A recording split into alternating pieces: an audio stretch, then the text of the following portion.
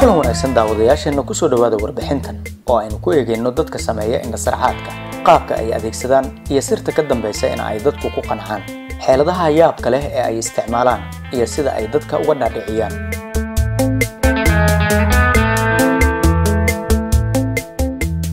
Badanaa waxa aynu daawannaa oo aad u xiisaynaa indhasarcaadka ama waxa afka qalaad lagu yidhaahdo magic kaas oo ay soo bandhigaan telefishinada waxaannu aragnaa muuqaallo aan la rumaysan karin oo haddana aan ku qancno in ay dhab yihiin. Waa xeelado iyo farsamooyin ay aad ugu tababarteen oo ay wax badan ku celceliyeen kuwa meejiga sameeya. Waa farsamooyin aad adigu xitaa samayn kartid kuna guulaysan kartid.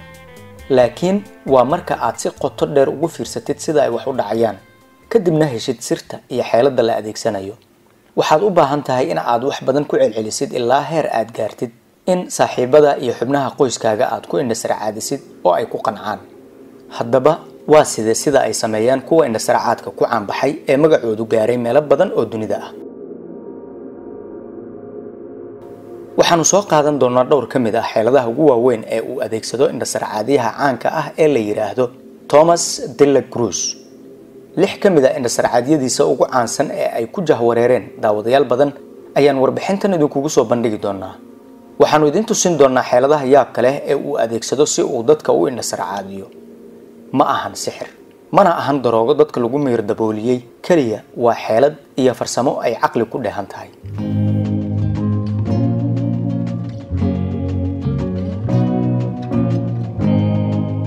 Aan ku bilaabo indhasarcaadyaha u dhashay maraykanka ee lagu magacaabo thomas dilla cruz. Waxa uu caan ku yahay magaca smootheny waxaan ka hadlayaa indhasarcaadiyaha ka yimid shaqada askarinimada maraykanka ee isku bedelay indhasarcaadiyo weyn. Wuxuu hanti badan ka tacbay indhasarcaadka uu ku sameeyo waddooyinka iyo masraxyada waaweyn ee ku yaalla waddamada maraykanka australia iyo jabaan wuxuu wax badan ka qayb galay barnaamijka american got talent isaga oo dadka uga yaabsaday xeeladihiisa indhasarcaadinta ah. Wuxuu sameeyey wax badan oo caqliga bini'aadamku diidayo laakiin kuwo badan ayaa aaminay oo ku qancay khiyaanooyinkaasi uu sameeyey. Balse marka hore fadlan nala wadaag aragtidaada si aan u ogaano xiisaha iyo muhiimadda uu qodobkani xambaarsan yahay.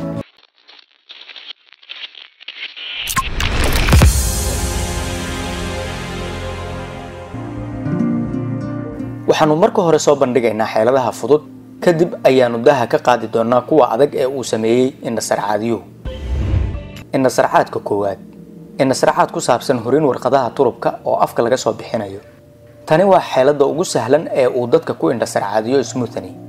Ninkani waxa uu xeeladan adeegsaday habka soo socda. Marka hore waxa uu ku dhaqaaqay in uu guddiga garsoorka tuso warqadaha turubka si deg deg ah oo aan la fahmaynin. Turubkii ayuu kala qaybiyey laba qayb. Kadibna qayb ka mid ah ayuu gacantiisii bidix ku qariyey ayada oo cid ku baraarugsanna aysan jirin. Qaybta kalena waxa uu saaray miiska dushiisa si loo arko. Si dhaqso ah ayuu gacantiisa sare ugu qaaday isaga oo afkiisana la aaday qof kasta waxa uu ku mashquulay inuu eego gacanta uu afka la aaday. Markaas kadib wuxuu iska dhigay inuu afkiisa turub ka soo saarayo. Laakiin gacanta bidix ayuu turubka ku geeyey afka kadibna. Sidii in uu soo tufayo ayuu turubkii dibadda u soo saaray. Waa intaas.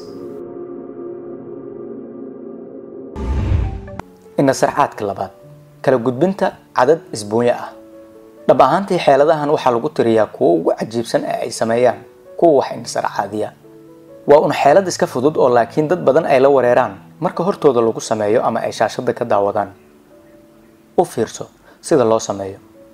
Marka hore indhasarcaadyuhu waxa uu dalbanayaa mid ka mid a garsoorayaasha in ay gacmaheeda fidiso. Kadib waxa uu soo qabanayaa cad kuusan oo isbuunyo ah. Wuxuu ku qabanayaa gacantiisa bidix wuuna ku dhammuujinayaa.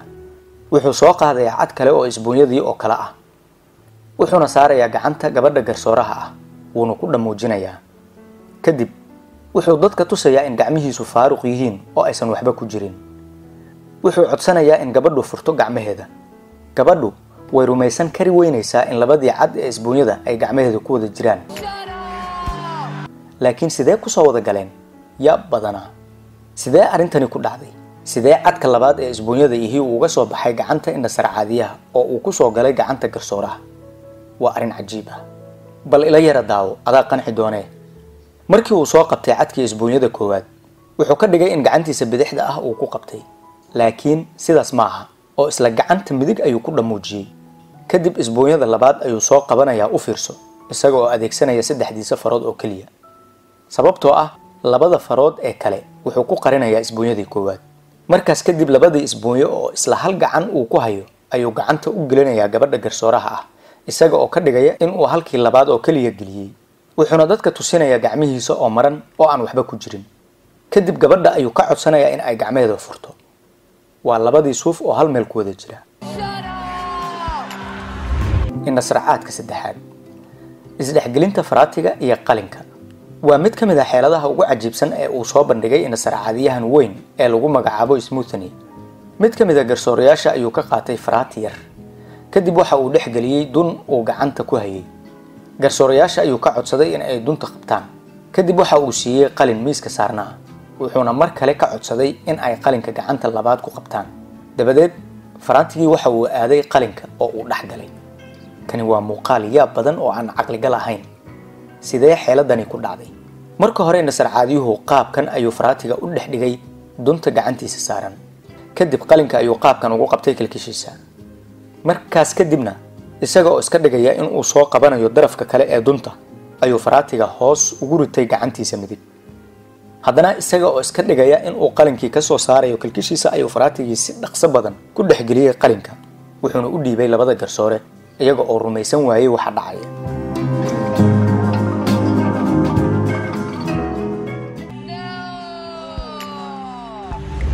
Indhasracaadka afraad. Qalin sanka la gelinayo lagana soo bixinayo afka tanina dad badan ayaa uu uga yaabsaday qalin sanka inta la geliyo kadibna afka laga soo saarayo waa arrin mucjiso ah. Bal sidee loo sameeyey xeeladan cajiibka ah? Ila daawo adigaa fahmi doonay. Marka uu gacantiisa sanka la aadayo si uu qalinka sanka u geliyo dabcan ma ahan mid uu si dhab ah u samaynayo taas. Keliya gacantiisa ayuu sanka ka dulmarinayaa isaga oo qalinka hoos u ceshanaya kadibna si dhaqso ah ayuu afka u geynayaa isla qalinka isaga oo markaas ka dhigaya inuu afka ka soo bixinayo. Si kooban haddii aan u sharaxo waa gacanta oo si farsamaysan marna kor loo qaaday marna hoos loo dhigay. Waa intaas oo keliya. Inasarcaadka shanaad lacag warqad hal doolar ah oo isku bedelaysa lacag warqad boqol doolar ah. Inasarcaadyaha ayaa dadka daawadayaasha ah hortoodii ku tirinaya lacag afar warqadood oo min hal doolar ah tirinta kadibna waxa uu saarayaa gacanta gabadha garsoorka ka tirsan. Lacagtii ayuu taabanayaa. Si halaaleel ah ayay isku bedelaysaa lacag boqol boqol doolar ah. Sidee ku dhacday tanna? Marka uu lacagta ka soo saarayay boorsada jeebka lagu qaato ma soo bixin lacag hal hal doolar oo keliya ee waxa uu soo raaciyey xirmo kale oo boqol boqol doolar ah. Marka uu gabadha gacanta u saaray wuxuu soo sarmariyey xirmada halhalka doolar ah waxaana ka hoos marsan xirmo kale oo boqol boqol doolar ah kadib farihiisa hoose ayuu si fudud oo dhaqso badan uga qaaday xirmadii lacagta halka doolar ahayd. Guddigii garsoorka iyo daawadayaashii barnaamijkuba waxa ay la jahwareereen sida lacagta afar doolar ahayd ay markiiba isu bedeshay lacag afar boqol oo doolar ah.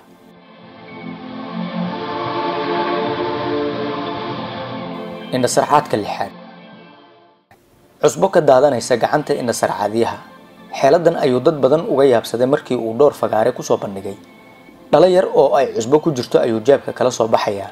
Kadibna waxa uu saarayaa miiska garsoorayaashu fadhiyaan. Intuu haddana soo qaado ayuu cusbadii qaabkan ugu shubayaa gacantiisa oo dhammuujinayaa markaas kadib gacantiisa ayuu furayaa ileen waaba mid maran oo aan wax cusbo ah lagu arag si uu ugu sii adkeeyo daawadayaasha waxa uu sare u haatiyey gacantiisa isaga oo tusinaya in aysan ku jirin wax cusbo ah. Mar kale intii uu gacantiisii midig dhammuujiyey ayuu cusbadii ka soo daadiyey. Tolow xaggee buu ka soo saaray cusbada yaab badanaa oo sirta xeeladan ku duugani maxay tahay? Xaggee cusbadu ugu qarsanayd. Ayadoo cusbada gacanta bidix lagu shubay sidee gacanta midig uga soo daadanaysaa? Laakiin marka aad si dhab ah ugu fiirsato waad garan kartaa in ay tani tahay xeelad sahlan oo si caqli ku dhisan loo sameeyey. Wuxuu indhasarcaadyuhu wataa cad yar oo balastig ah oo sida suulka loo ekaysiiyey. Balastigaasu waa uu daloolaa waxaana la dhex gashan karaa suulka gacanta. Intuu balastigii suulka u ekaa si xeeladaysan u soo saaro ayuu gacantiisa bidix ku qabanayaa wuxuuna gacanta midig ku soo qaadayaa dhalada yar ee ay cusbada ku jirto isaga oo balastiga uu gacanta ku hayo ku shubaya. Balastiga ayuu ka soo qaadayaa gacantiisa bidix wuxuuna gelinayaa suulka gacantiisa midig isaga oo qaabkan samaynaya. Xitaa haddii uu adeegsan lahaa suul macmal ah oo midabka gacantiisu u eg wax bay ahaan lahayd oo cid fahmi lahayd maba jiri lahayn laakiin wuxuu adeegsaday mid ka yara duwan midabkiisa u fiirso sida farihiisa looga dhex sooci karo suulkaas macmalka ah ee balastiga ka samaysan.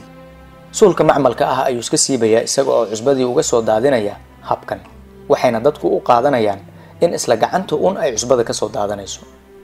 Laakiin waxa ay ku wareerayaan sida ay taasi ku dhacday. Xaqiiqdu waa in ay xeeladani ku tiirsan tahay suulkaasi macmalka ah ee cinjirka ama balastiga ka samaysan. Fiiri ugu dambayn markii uu dhammeeyey hawshii nasar caadinta ahayd suulkii macmalka ahaa ayuu si qarsoodi ah jeebkiisii dambe u gelinayaa.